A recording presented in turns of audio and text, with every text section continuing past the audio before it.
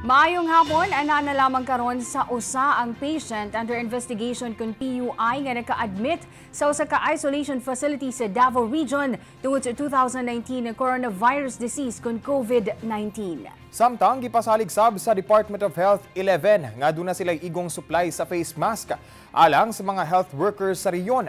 Ani ang report? Gikumpirma sa Department of Health kon DOH Region 11 nga gikan sa tulo. Ana-ana lamang karon sa usa ka pasyente ang naka-admit sa usa ka isolation facility dinhi sa Davao Region tungod sa coronavirus disease kon COVID-19. Sumala sa Regional Director sa DOH-11 nga si Dr. Annabel Yumang, na-discharge na ang ubang patients under investigation kon PUIs dinhi sa riyon. Human makumpirma nga nagnegatibo sila sa makamatay nga sakit. Kung nagatrack man pud bing amo adire sa hospital so nana lang gyud tay usa na lang asob karong adlaw o gikan atong biyernes hangtod karong adlaw pud wala na pud tay bag-ong uh, person under investigation. Samtang, parayon sab ang hugot nga pagbantay sa DOH-11 kauban ang uban pang mga ahensya sa gobyerno sa mga entry points sa riyon, partikular na sa Francisco Bangoy International Airport.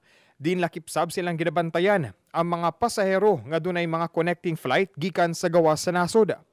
Parayon sab ang pag-awhag sa DOH-11 ngadto sa katawhan kinsa bag-uhay lamang mi biyahe gikan sa gawas sa nasod nga gilayong magpakonsulta kung makasinati og mga sintomas sa COVID-19 sa masahilanat ubo og sipon. Samtang gipasalig sab sa DOH-11 nga duna sila igong supply sa face mask alang sa mga health worker sa matag ospital nga gaatiman sa mga pasyente nga makitaan sa sintomas sa COVID-19.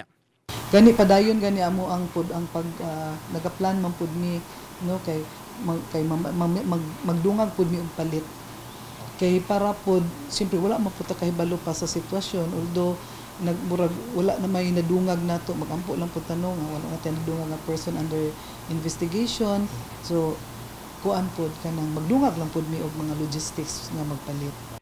Gikalipay sab sa DOH-11 ang gihimong lakang sa mga tulunghaan sa riyon sa pagbutang og mga ER scanner alang sa pagmonitor sa mga estudyante ug mga individual Subay sa pagsiguro nga magpabiling gawas nun sa COVID-19 ang tibok Davao Region.